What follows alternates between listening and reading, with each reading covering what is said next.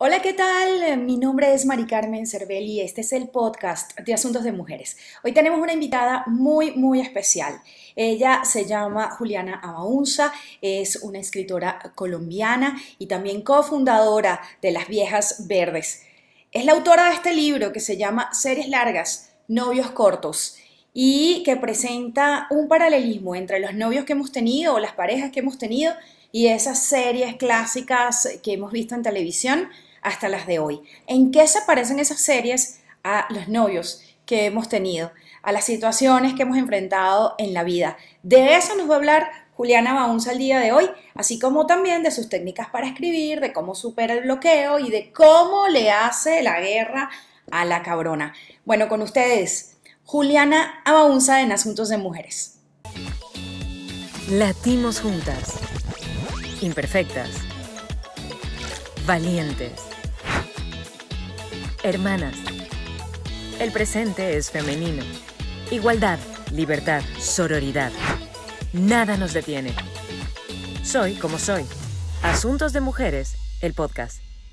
Desde Asuntos de Mujeres queremos invitarte a nuestro Club de Escritoras, un espacio de apoyo y creación para mujeres que, como tú, aman escribir y no quieren dejar de hacerlo. En nuestro Club de Escritoras encontrarás talleres, tertulias con autoras, retos de escritura, concursos, clases magistrales, maridajes literarios y mucho más.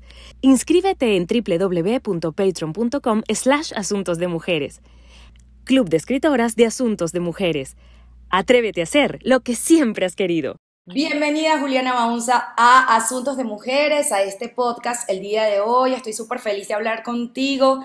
Como te decía fuera del aire, pues yo siento que ya somos amigas, que yo ya estaba pendiente como el proceso de tu libro, ya salió el libro de Juliana, este, vamos a entrevistarla y bueno, ya estás aquí. Bienvenida. Gracias por invitarme, estoy muy emocionada por hablar hoy y tener esta conversación contigo. Bueno, aquí está el libro, lo tengo en mis manos, también lo he visto en todas las librerías, tiene un título, eh, como dirían por ahí una palabra que he escuchado mucho, atrapante, un título atrapante, ¿ok?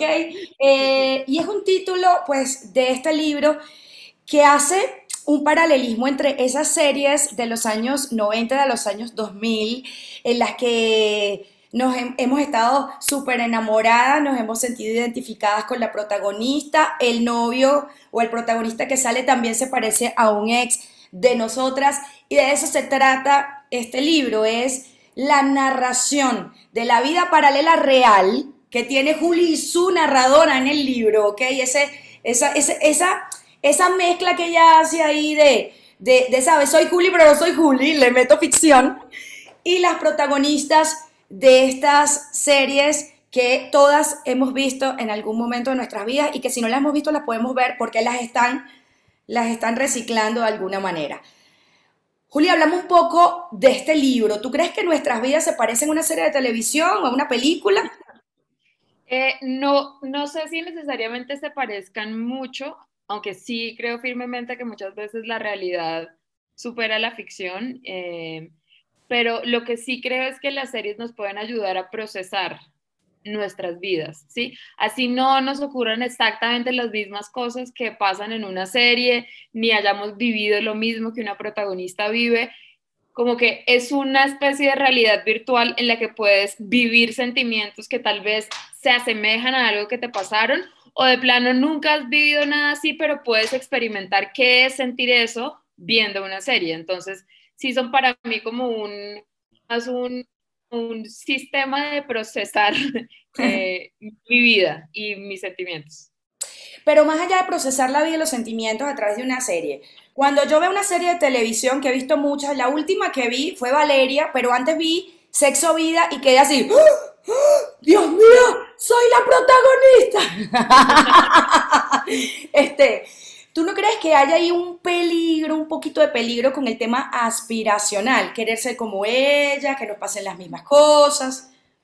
Sí, sí creo que obviamente en las series embellecen la vida y en general la ficción tiene una cosa que no tiene la vida, que es un inicio, un nudo y un final, un cierre. Entonces creo que de tanto ver series y de tanto ver películas, subconscientemente estamos esperando que la vida funcione de la misma forma y que todas las historias y todas las relaciones tengan un cierre, porque es que tengo que darle un cierre a esto y es como, mi amor, en la vida real no existen los cierres, no siempre, ¿sí? Algunas veces sí, pero no siempre. Eh, entonces, como que sí hay que ser muy consciente de momento.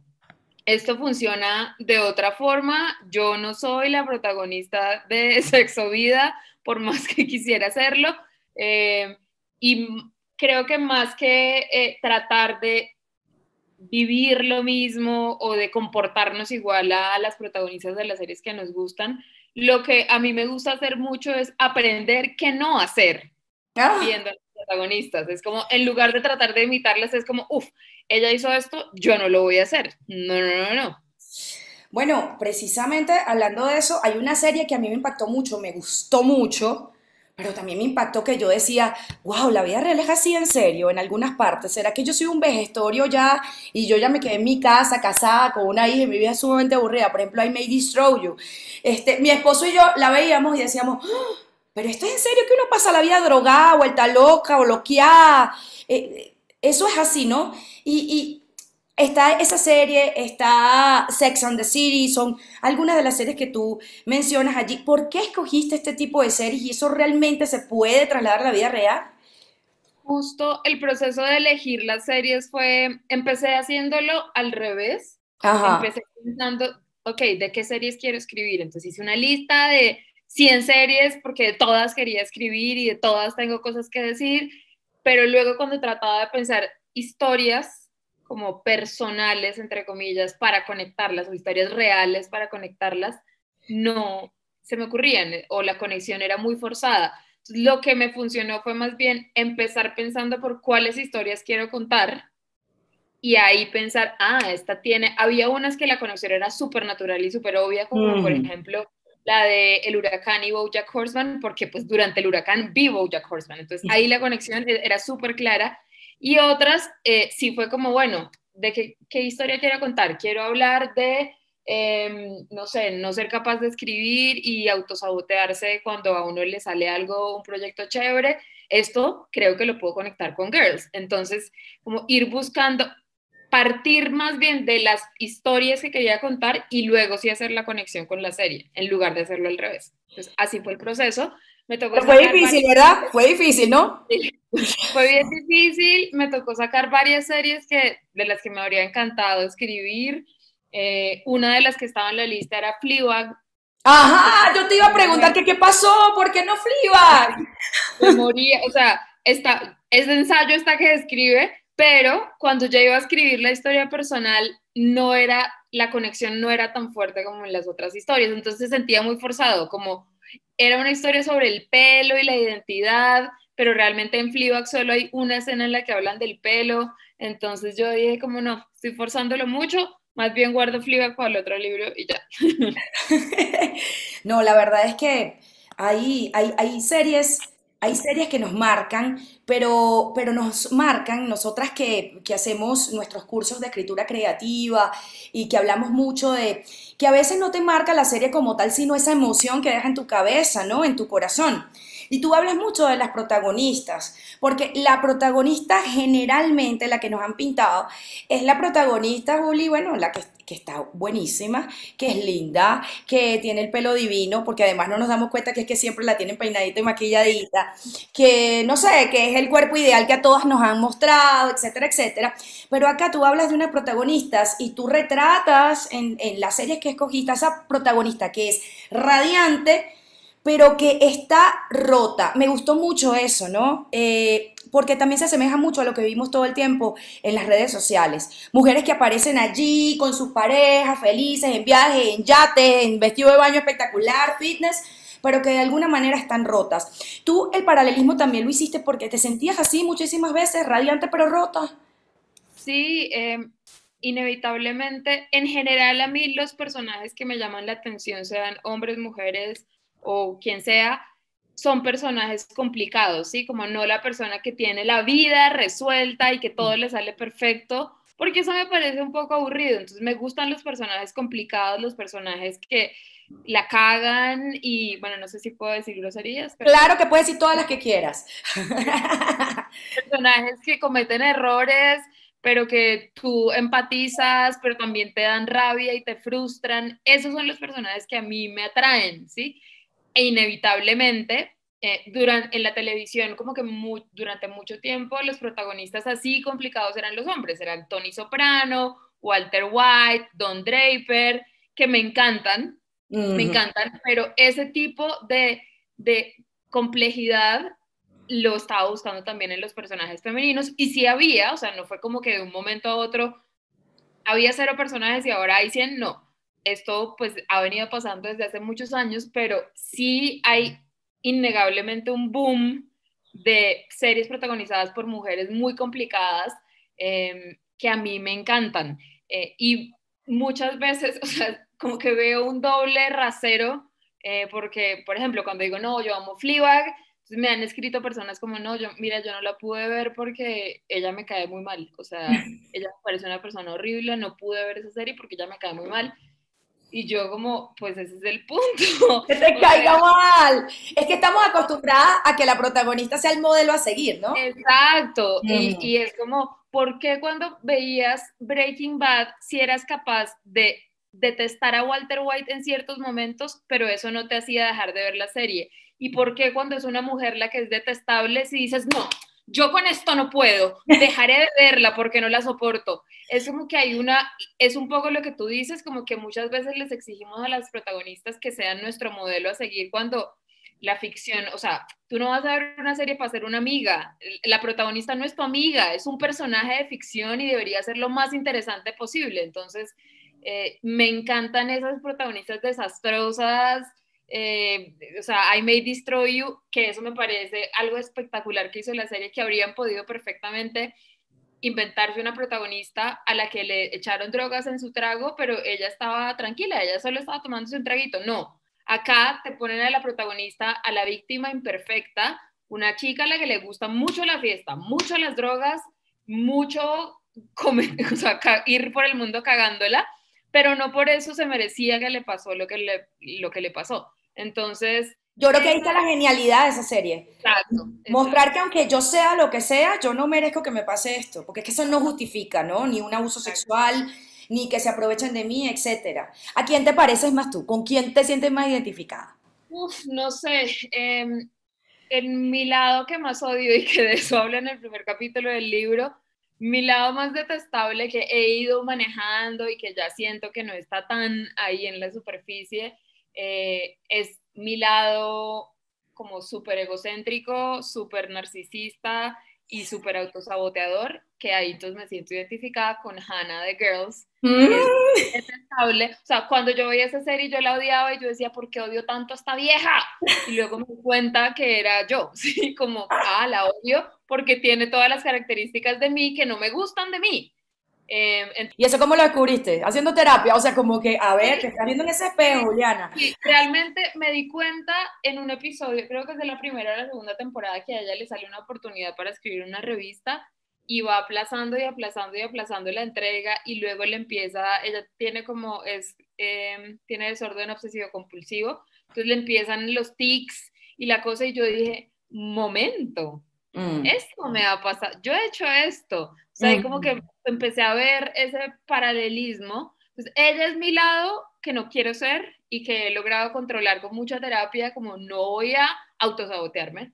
Y el lado que quisiera ser, uff, no sé, eso es más complicado, porque todas las protagonistas que me gustan, como que no quisiera tener sus vidas, porque son unas viejas muy, muy, muy... Muy complejo todo, ¿no? Enredado. Me encanta, me encanta Lorelai Gilmore, o sea, me encantaría tener el cerebro de Lorelai Gilmore para poder votar tantas referencias de cultura pop por minuto. Ya para, como, como un consejo para los que, por ejemplo, escriben guiones, eh, y ahora que hay este boom de series, que la televisión como que se está tomando el poder y con todas estas, con Netflix, con Amazon, con Apple TV, ¿qué crees tú que debe tener una serie, una película, un libro, para de verdad quedarse en el corazón de la gente? Más allá de que no recuerdes el nombre ni la protagonista incluso, ¿Qué debe tener?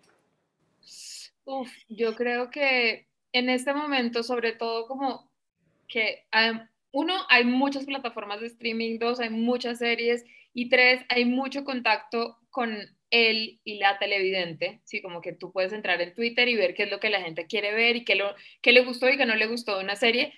Siento que puede ser muy fácil caer en escribir con una fórmula, como de voy a darle a la gente todo lo que quieren, ¿sí? Entonces eh, voy a chequear todas las casillas y chulear todo para que a todo el mundo le guste lo que yo hago yo creo y pienso mucho en un consejo que dio Phoebe Waller-Bridge, que es la creadora de Fleabag, cuando se ganó sus Emmys. Ella dijo que lo relaciono mucho con esto de no escribir para complacer a todo el mundo, sino ella dio un consejo que es, cuando escribas, escribe para una persona. Entonces, elige a una persona a la que quieras hacer reír. Tu hermana, tu novia, tu mamá, tu mejor amiga, no sé, ella piensa en su mejor amiga y todo lo que escribe lo escribe pensando voy a hacer reír a Pepita, porque me encanta el sentido del humor de Pepita, yo quiero hacer reír a Pepita, no es voy a hacer reír al mundo entero, voy a conmover a todo el mundo, no es como voy a escribir una historia que le va a gustar a Pepita y ya, entonces como que concentrarte en solo una persona más que tratar de ser súper coherente y hablar de todos los temas actuales. Es como, voy a hacer una historia honesta que le va a gustar a una persona que me cae bien. Entonces, yo creo que esa es una buena fórmula. Sí, sí, ese es un buen consejo, sabes que lo estaba pensando, porque además es como, bueno, esto le va a gustar a tal persona, pero al otro no. Bueno, pues ya escribiré una ah, historia que le guste a la otra persona, ¿no? Exacto, no todo le puede gustar a todo el mundo y eso también es lo chévere de tener ahorita tantas series, que no todas tienen que ser para todo el mundo. A mí muchas veces me escriben por Instagram o por Twitter como, Juli, no, vi esta serie que recomendaste, pero no sé qué está mal conmigo, a mí no me gustó. yo no está nada mal contigo, solo no te gustó, ya, no todas las series pueden ser para todo el mundo. Así es, que además uno se siente culpable, ¿no? Porque ahí también toda una ¿sabes? Como que todo el mundo analizando series, libros, películas, con este halo de intelectualidad y uno se siente como, ay Dios mío, ¿será que yo estoy loca? Porque a mí no me gustó lo que pasó ahí, yo no entendí nada, ¿no? Eh, yo creo que hay un sentimiento de culpa no solamente con las series, con los libros también. Ahora, tú dijiste que tenías muchas series y que tuviste que hacer una curaduría, pero si tuvieras que recomendar otras series que no están en el libro, ¿cuáles recomendarías? Aparte de, bueno, de, de todas las que tienes allí, ¿no?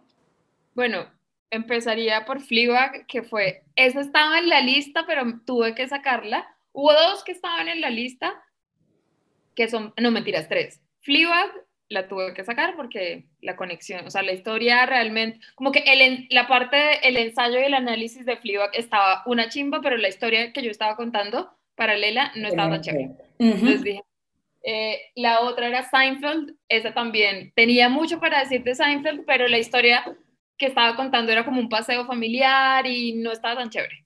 Ok. Eh, y por último, eh, recomendar, es que hay tantas series que recomendaría, o sea, mi serie favorita de la vida es The Wire, mi gato está enloquecido, se está trepando en la reja. por favor. eso forma parte, eso forma parte de esto, tranqui. Tú mi serie favorita es The Wire, obviamente recomiendo las clásicas, The Wire, Los Soprano, Breaking Bad, eh, pero no sé, pienso como en las que he visto el último año. Me encantó Mayor of Easttown, protagonizada por Kate Winslet en HBO. Excelente. Que ahorita se ganó el Emmy, ajá. Y hay una, hay una en Netflix que a mí me fascina, que, que es una serie así súper adolescente. Eh, o sea, de adolescente, una adolescente es la protagonista, se llama Never Have I Ever. En español es Yo Nunca. Es, uno la ve y es como, ah, no, va a ser una serie adolescente de una chica ahí que es como medio nerd y que quiere perder la virginidad, eh, pero termina hablando del duelo y como de ser, esta sí que es una protagonista súper messy, desastrosa, la embarra todo el tiempo y eso me encanta, o sea, siento que es como la Fleabag adolescente. Eh, Juli, ¿por qué novios cortos? o sea, me encantaría decir que yo me inventé el título, pero no. Eh, yo no eh, llevaba con mi editora mucho tiempo dándole vueltas a cómo le íbamos a poner al libro. Yo hace unos años, no sé, como cinco o seis años, escribí un tweet que como que revivo cada tanto y le vuelvo a retweet, que eh, decía, repitan series, no novios. Entonces, teníamos pensado ponerla así, pero como que estaba muy largo, ese no novios se veía raro escrito. Eh, entonces mi, mi, editora me preguntó como, oye, ¿me das permiso de preguntarle a mi jefe, que él es súper bueno poniendo títulos, o sea, es como el genio de la vida poniendo títulos? Y yo, adelante, porque yo soy pésima titulando cosas. A los cinco minutos volvió y me dijo, listo, lo tenemos. Y yo, ¿qué? ¿Cómo es? Y me dijo, series largas, novios cortos. Y yo, espectacular. es este man que no me conoce pudo como condensar mi filosofía de vida así y realmente sí es lo de novios cortos es un poco como pues como ha pasado mi vida y también es una decisión súper consciente. Em, yo siempre digo que yo soy soltera perpetua por decisión, o sea, a mí cuando yo he salido con personas ha sido experiencias súper chéveres, pero casi todas mis relaciones han sido muy cortas. Eh, y ya me he dado cuenta como que durante mucho tiempo pensé, ¿será que es que hay algo mal conmigo? Porque no tengo como ese chipcito de quiero estar en una relación. Nunca, jamás me he levantado un día de mi cama y pensado, ah, qué rico sería estar para... Jamás lo he pensado. Siempre pensé como, ¿será que hay algo defectuoso en mí? Algo le falta a mi cerebro que yo no quiero, lo que todo el mundo quiere. Y ya luego me di cuenta que no, que sencillamente yo tengo otras prioridades, sí tengo mucho amor en mi vida, mucha compañía en mi vida, pero los novios nunca han sido una prioridad y siempre han sido cortos, la verdad. Ay, pero qué maravilla escucharlo así, ¿no? O sea, esa, pasar de esa pregunta, ¿será que hay algo mal en mí? Que es la pregunta que nos hacemos todas siempre. Nosotras siempre pensamos que la culpa es nuestra de todo lo que nos pasa.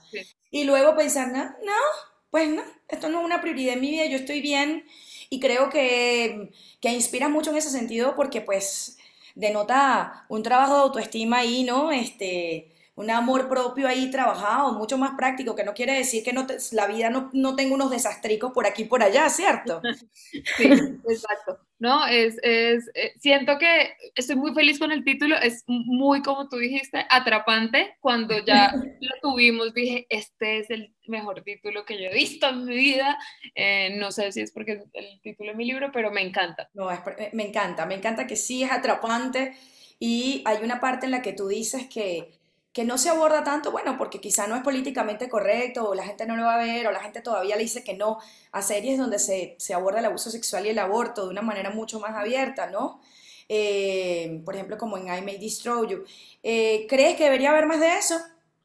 Sí, 100%. Eh, siento que después de Me Too, o sea, como desde el 2016, cada vez más series han estado hablando del tema. Em, recuerdo mucho que Girls en la última temporada tiene un episodio espectacular que para mí es el mejor episodio de Girls, em, en el que ella va a entrevistar a un, a un escritor que está acusado como de, sí, como de acoso sexual.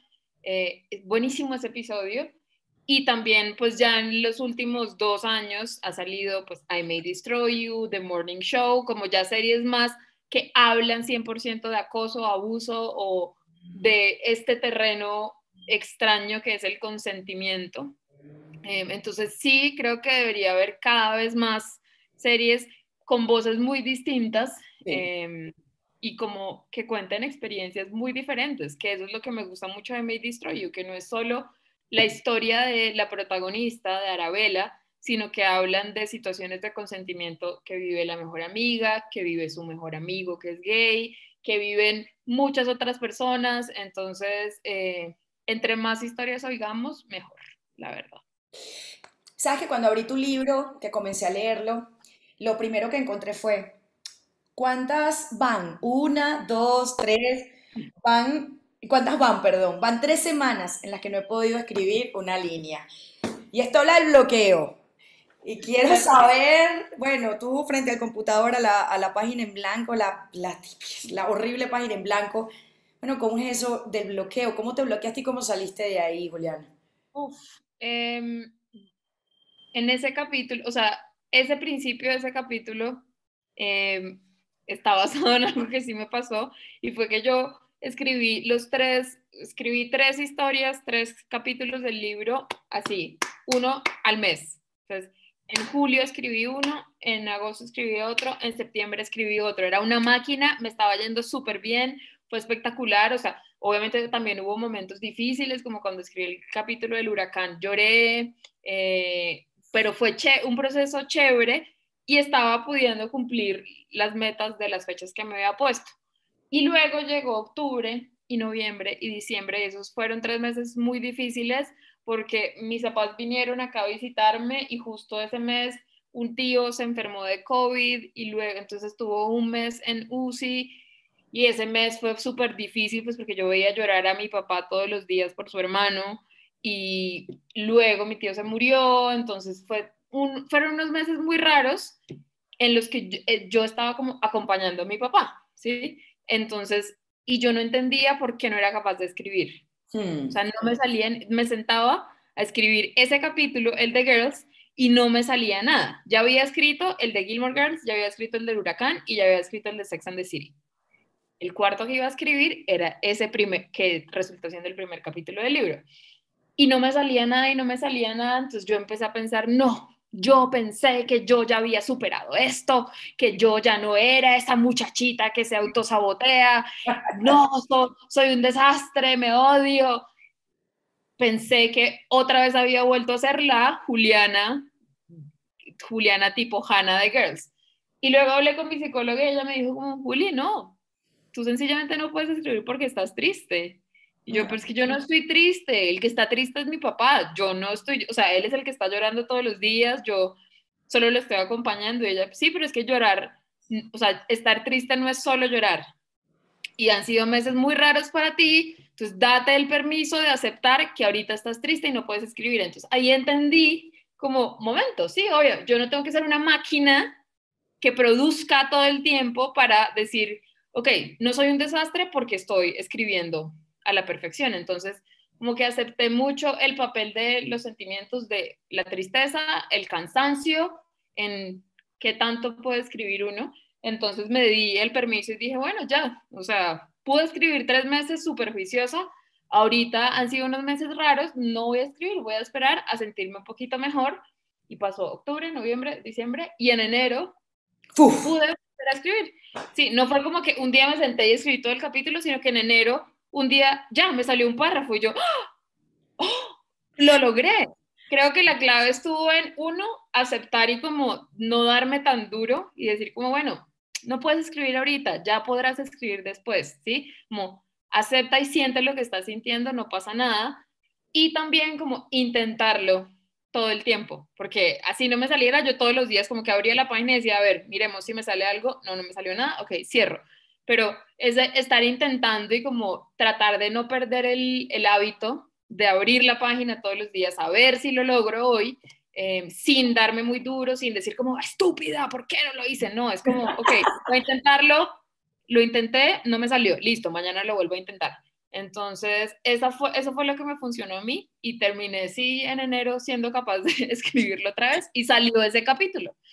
Juli, pero es que tú sabes que nosotras en Asuntos de Mujeres, porque ahora que le dices estúpida y tal, tienes que ser capaz, estoy frustrada, soy la misma niñita de antes. Nosotras tenemos, creamos un personaje que se llama la cabrona. Y la cabrona está aquí adentro, no en la cabeza. Y es la que te dice, ay, sí, ahora sí, ahora eres escritora de libros. Ay, este, ay, em, em, sí, pero ¿quién te dijo a ti que podías escribir? Ay, sí, bloquea, lo que pasa es que tú no sabes escribir, etcétera, etcétera, etcétera. Algunas autoras dicen, no, yo abrazo a mi cabrona y le doy besito y tal. Otras pelean y la mandan para el carajo. ¿Tú qué haces con la cabrona cuando viene y te ataca? Con la cabrona, yo lo que hago es eh, oírla, la oigo y luego digo, ella no tiene la razón.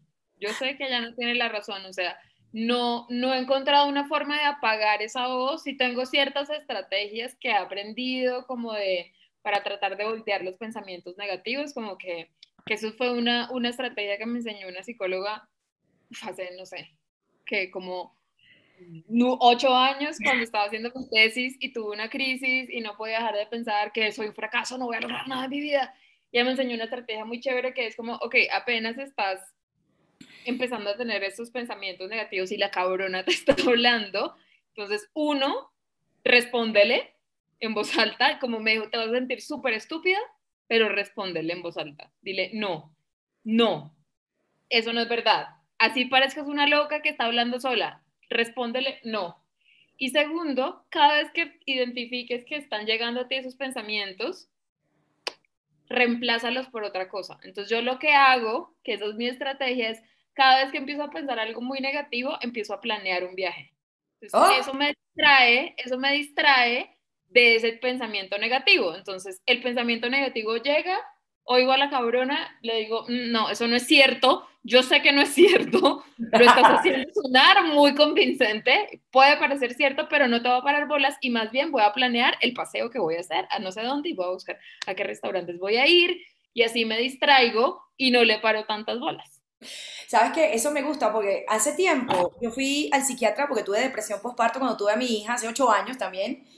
Y yo me acuerdo que yo le decía, es que soy tan mala madre, es que las mamás de Instagram son tan lindas y yo soy una desnaturalizada, bla, bla. Y él me decía, ¿qué es lo que más te gusta a ti en la vida aparte de, no sé, escribir, leer? Yo los zapatos, las carteras. Ok, de ahora en adelante vas a ver zapatos y carteras. Exacto. Exacto, es, es, es, un truco muy, suena súper tonto y cuando a mí me lo dijo esta psicóloga, obviamente en medio de una crisis yo como, ay, qué vida tan estúpida, o sea, dame pastillas y ya. Exacto, medícame por favor, que me estoy enloqueciendo. Y no, y resulta que el cerebro es, pues es un órgano que funciona así, como que tú le abres un caminito y al principio es difícil recorrerlo, pero ya luego él recorre ese camino solo. Entonces, como que las primeras veces que la cabrona te diga algo, tú pasa distrae tu pensamiento y lleva tu cerebro a otra cosa que sí te guste. Y luego ya tu cerebro va a hacer ese trabajo solo. Es como, llegó la cabrona, voy a buscar zapatos. Ay, mira, ¿y cómo van las Viejas Verdes? Tú que eres cofundadora de las Viejas Verdes y, bueno, ¿y cuáles son los desafíos que, ha tenido las Viejas Verdes? Porque nosotras hemos tenido muchos, ¿no? Este, nosotras en asuntos de mujeres, en este camino, en este aprendizaje feminista, wow, no, no, no ha sido fácil. ¿Ustedes cómo van? Vamos súper bien. Em, este año, justo, pues ya ahorita se va a cumplir un año de que se presentó, no, solo, no nosotras, sino una campaña se llama Causa Justa, que se presentó a la Corte para despenalizar por completo em, el aborto, que no sea un crimen, eh, que no haya ninguna mujer judicializada. Eh, si un médico dice, no, ella no cumple con ninguna de las tres causales, para la cárcel. Entonces, eh, queremos evitar que eso suceda. Ya casi cumple un año de que se presentó esta pues, causa justa. Entonces, estamos pendientes, estamos siempre como, eh, con, como con los escudos puestos, porque algo que hemos aprendido y que, digamos, refleja mucho lo que está pasando en Estados Unidos, en Texas, es mm. que si tú, si nosotras como que adquirimos un derecho y decimos, listo, lo logramos, eh, podemos dormirnos, luego nos lo quitan. Entonces, eh, hay que estar siempre pendientes, siempre agarrándonos de las cosas que, que hemos logrado y tratando de lograr cada vez más. Entonces, eh, en Viejas Verdes, pues ha sido un proceso súper chévere. Ya ahorita en octubre de este año cumplimos tres años. Em, hemos aprendido muchísimo. la hemos también embarrado muchísimo. creo que la clave siempre está en oír, em, en oír a las personas que tienen críticas em, como constructivas y replantear siempre lo que habíamos pensado. Entonces, ahí seguiremos. Así es, ahí seguiremos y me encanta lo que dice porque sí, esto es todo un proceso, un aprendizaje que no acaba.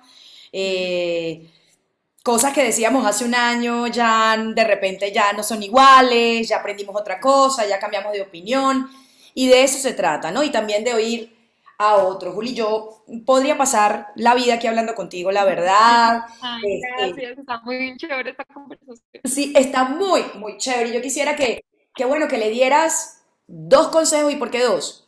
A, a, la comunidad de asuntos de mujeres. Una, pues, sobre feminismo y otro sobre escritura. Este, eh, ¿Qué les dirías tú a esa comunidad de asuntos de mujeres, las que escriben y las que están ávidas por aprender más de feminismo? Em, sobre feminismo, mi consejo es uno, que creo que este consejo aplica para los dos casos, que es no se den tan duro. Entonces, en el caso del feminismo es no se den tan duro por no ser 100% coherentes y 100% perfectas, Em, siento que en este mundo estamos siempre tratando, y sobre todo como mujeres en el mundo, estamos tratando de encontrar siempre la perfección tengo que ser la feminista perfecta, no puedo hacer nada incoherente. Y eso es imposible, o sea, es sencillamente imposible, imposible lograrlo, entonces, entre más pronto acepten eso, entre más pronto acepten que van a ser feministas imperfectas, mm, una mejor vida van a tener. Y también otro consejo que les doy es, aunque las redes sociales son espectaculares para enterarse de cosas nuevas, para conocer a gente que admiras y proyectos que son muy chéveres de seguir, también es importante buscar espacios por fuera, ¿sí? Como hacer contacto en comunidad con otras mujeres en el mundo real, leer libros, entonces como no quedarse solo con una cosa, no ser la feminista que solo lee libro y solo academia, pero tampoco ser la feminista que solo da likes en Instagram, tratar de encontrar un equilibrio entre lo que hay en el análogo y lo que hay en el mundo virtual. Eh, ¿Dónde podemos conseguir tu libro? Eh, series largas, novios cortos, lo pueden conseguir en teoría en todas las librerías del país. Eh, está en todas, todas, todas las librerías y en todo el país. Lo consiguen también en Busca Libre, en Amazon, en Apple Books, en todas partes. O sea, ustedes piensen cuál es mi librería favorita. Van a esa librería y dicen, bueno, tiene series largas, nuevos cortos, probablemente lo tienen. Y si no lo tienen, ustedes les dicen, ¿qué les pasa? Yo lo he visto, yo, yo lo he visto en todos lados. Yo estuve ahorita en Bogotá, está en todos lados. Aquí está en todos lados. Y cómo no, es un librazo, es entretenido, pero también profundo, que eso es lo más importante, está lleno de historias, me encantan las historias, yo creo que las historias son claves para entender el mundo, ¿no? Eh, para entrarle por otro lado, para contar la vida desde diferentes ángulos, para entender que no hay una sola manera de hacer las cosas. Y tú lo lograste en este libro, te admiramos, te felicitamos y estamos contigo apoyándote. Muchas gracias, por cierto. Arroba Juliana Abaunza con Z, ¿cierto? Para que te busquen en Instagram. Ok. y doble A, Juliana Abaunza. Exactamente. Bueno, ya lo saben, a comprar el libro de Juliana, a seguirle en las redes sociales y a estar pendiente de este y otros podcasts de asuntos de mujeres. Gracias, Juliana, por estar con nosotros. Gracias, gracias por la invitación, me encantó. Soy como soy. Asuntos de mujeres, el podcast.